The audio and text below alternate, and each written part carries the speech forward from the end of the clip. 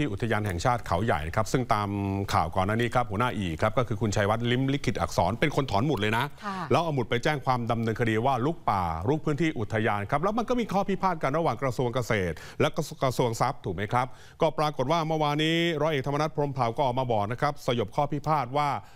ทั้งสองกระทรวงนั้นถือแผนที่กันคนละฉบับครับ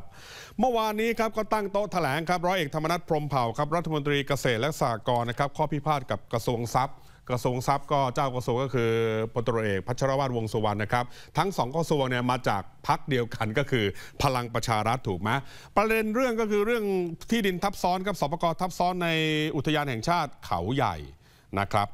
ซึ่งเมื่อวานนี้ครับร้อยเอกธรรมนัฐก็ชี้แจงนะครับ บอกว่ากรมแผนที่ทหารเนี่ยได้ทำหนังสือถึงท่านนายกเศรษฐานะครับ หลังจากจัดทำแผนที่วันแมปเสร็จเรียบร้อยแล้ว ท่านนายกก็สั่งการมาให้กับร้อยเอกธรรมนัฐนะครับแล้วก็พลตรเอกพัชรวงศ์สุวรรณ นะครับรัฐมนตรีทั้งเกษตร ทั้งกระทรวงทรัพย์นะครับมาแถลง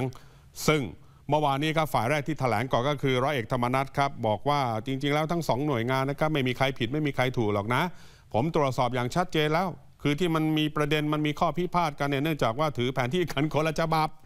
แผนที่คนละฉบับท่านผู้ชมครับ ไม่มีใครเจตนาร้ายครับที่จะไปทำลายทรัพย์สินส่วนราชการของสำนักงานปฏิรูปที่ดิน ฟังร้อยเอกธรรมนัฐพรมเผ่าชี้แจงดูครับ ดังนั้นด้วยเจตนาดีที่จะรักษาอุทยานนะครับ ผมขออนุญาตเอ่ยนามนะครับท่านผอชัยยา ซึ่งอยู่ในพื้นที่วันที่ผมลงพื้นที่ด้วยกันนะครับ ซึ่งผมก็ขอชื่นชมความกล้าหาญของท่านผอนะครับ ตลอดจนถึงนะครับท่านผอชัยวัฒน์นะครับ ก็ถือว่าเจ้าที่อุทยานมีละมีหน้าที่รักษาอุทยานและป่าไม้ ซึ่งเขาทั้งสองพร้อมทีมงาน ก็มีความมั่นใจว่าอยู่ในเขตพื้นที่อุทยานนะครับนี่ครับ ก็เห็นบอกว่าจะมีการทำหนังสือที่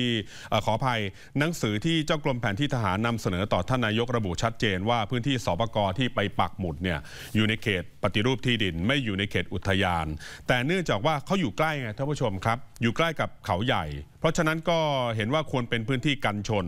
ซึ่งถ้าเป็นสปกจังหวัด หมายถึงว่าถ้าร้อยเอกธรรมนัฐนะเป็นสปกจังหวัดเนี่ย ท่านก็เลยถามจิตสำนึกตามที่พออีก็คือพอชัยวัฒน์นะครับ บอกว่าไม่ควรทำเป็นอย่างยิ่งนะครับ ที่จะเอาพื้นที่ตรงนี้ที่อยู่ใกล้กับเขาใหญ่เนี่ยมาเป็นพื้นที่สปก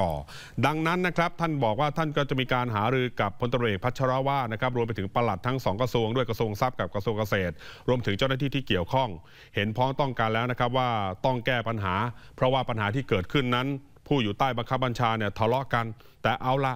มันถือแผนที่กันคนละฉบับไง